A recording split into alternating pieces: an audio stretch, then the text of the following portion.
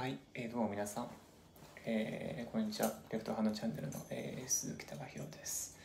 えっ、と、今日もですね、朝からちょっとあの動画の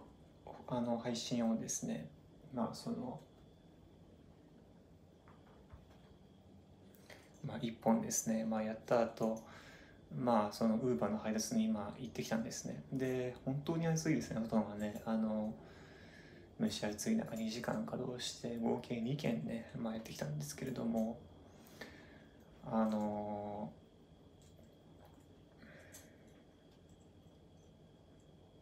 楽しかったですね。なんだかんだそのやっぱりそのウーバーのそのそそのアルゴリズムっていうのがまあそのうつのそのなんとなく暗い気分っていうのをですね結構払拭してくれるんであの楽しかったですね。うん。であの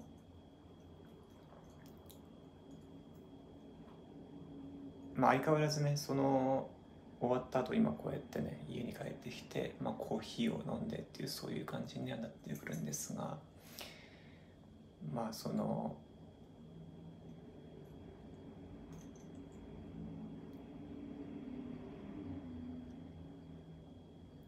まあ、創価学会のあの友達とのやり取りの中にですねやっぱりその病気の概念というものがまあやっぱりあってでやっぱりその相手方のその感染した後の感じというものをですねこちら側に移してくるようななんかそういう感じのコミュニケーションのやり取りっていうのがですねまさしくその、まあ、僕の母親とかとまあ同じですねそのあのやっぱりその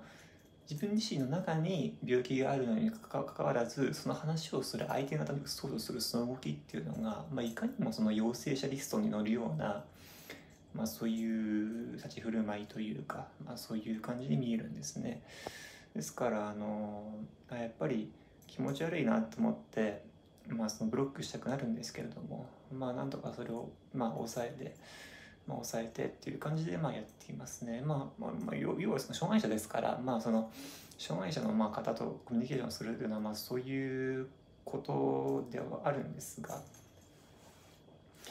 しょうがないですね。まあ、障害者っていうのはその病気ですから、その自分自身のその自意識というものがまあないですから、全部その他人に依存しますから、そういうのっていうのは、まあ、一緒にいるとノイローゼになるよって言われている。だからこそこうやって僕は一人暮らしをしてるんですけれどもね。うん、まあ、ただまあ、そのカーブスっていうこの下のテナントもありますから、まあ、家に帰ったからといって、じゃあ静かになるかというと、まあ、そういうことではないにしてもですね、まあ、一つパーテーションでも一つ作って、こうやって区切ってるっていうだけでも、まあ、幸せの方かなってまあ思ったり、思わなかったりってね、まあ、そういうところなんで。うん、で僕はもともとその、地元で働かれてるそういう方々もそうですけど、所詮、まあ、その障害者の方々がですね、まあ、一生懸命働いてるっていう印象が、まあ、強かったんですよ。で、あのまあ、やっぱりそうで、あの手こぎ車線についてああとこうで言うのって大体その障害者じゃないですか。だからそのそういうのっていうのをこうああだこうでずっとこう他人と話してるっていうのが、まあ、いかにも障害者っぽいそういうのっていうのはもう全国的なそういうのってまあ見えてるので、まあ、あの方々っていうのも多分、まあ、いずれかはそういう産業所とかああいうところに行ってですねまあ多分いずれかはそこでコーチングをもらって生活するようなそういう人になっていくんだろうと、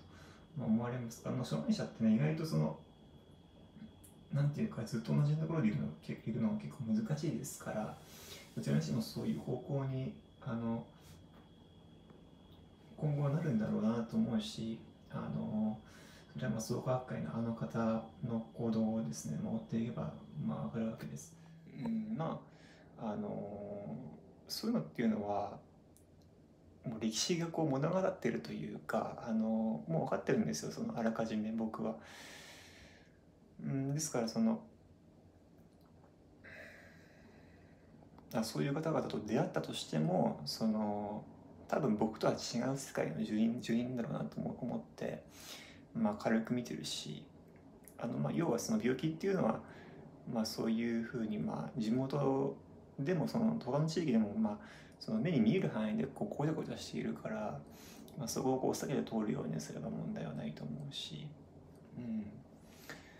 うん、でその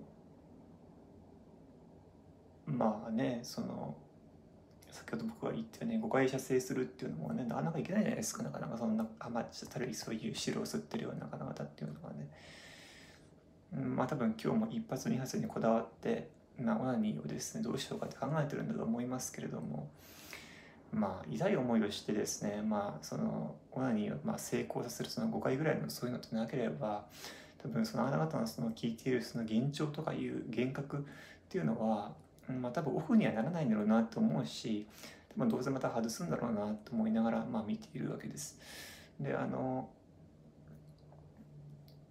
まあその桜井もそうなんですけれども、まあ、C という領域にどうせ向かっているわけですからまたこう血が止まらないそういう何かでね毎日の毎日のように多分抜いてるんでしょうね。まあ、それはね結構その歴史がこう物語っているというか、まあ、分かっていることだからまああのうんああいう方々まあそういう早く更生するような世の中になっているといいんですけれどもね。